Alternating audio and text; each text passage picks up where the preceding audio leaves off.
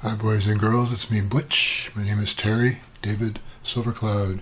If you want to know more about me, just uh, Google my name, David Silvercloud. Press enter. There you are. You'll find uh, lots of stuff about me, I would imagine, including pictures. Uh, clothed and not clothed, and images of me are free to download and to uh, to uh, share.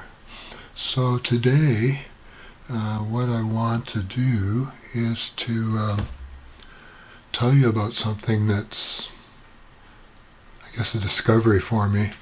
Uh, five years ago, in 2015, I had a uh, a crown put on one of my teeth, and that's the day that tooth started bothering me. And several visits to the dentist later, the dentist wouldn't see me anymore.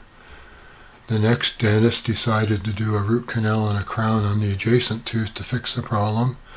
That made it worse.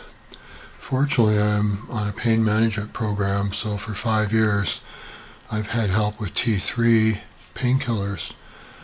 And I've since been to yet a third dentist who root canaled the first tooth. That did not fix the problem either. If you're here, you know what I'm talking about.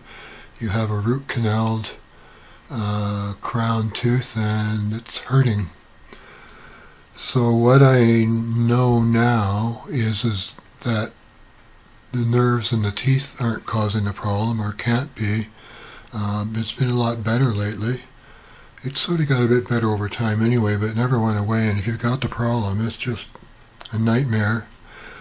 Uh, doctors are no help because in Canada, dentists look after your mouth, not doctors. It's your problem.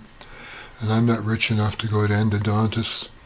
Uh, but about a month ago, I started using um, this toothpaste, Crest Advanced, with gum protection. I'm not getting paid to do this, and I'm not even sure if this is what's happening. I'm a scientist.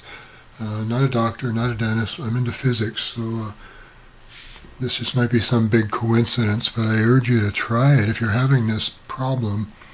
So I convinced myself to brush the problem teeth, although I was terrified to do that.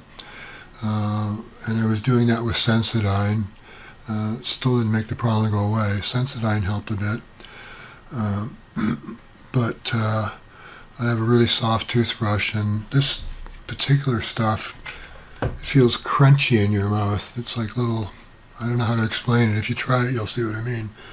Um, since I've tried it, the gum issue has become almost non existent the last week. And I've been using this for about a month. So I'm just suggesting to you that uh, you give it a shot. If, if you're having this problem, this nightmare of uh, teeth that uh, they seem to hurt, but you can't seem to fix it. If you have it, you'll know what I mean. Maybe you have a different problem, and if you haven't seen a dentist or asked a dentist about it, um, do that because you should always seek professional advice. But I got no help from dentists, and my doctor couldn't help me, and the College of Dental surgeons or whatever they are here, my complaints to them did no good either, and they were no help. Nobody's been any help at all. Nobody, anywhere. So I'm offering you this little bit of advice from a Butchie Poo where you're over there. Uh, I'll put up a graphic I found. The packaging may vary in different countries, in the States or Canada, who knows. In Canada, you have to have uh, French on the label, so it's probably different packaging than in the United States all labeling in Canada uh, by law uh, is supposed to also be written in French. We have two legal official languages here. So that's it for Butch. Boy, this is four minutes already. Um, if it helps you, uh, come back and leave a comment, please, so I know it's just not me going crazy in my old age. Bye from Butch.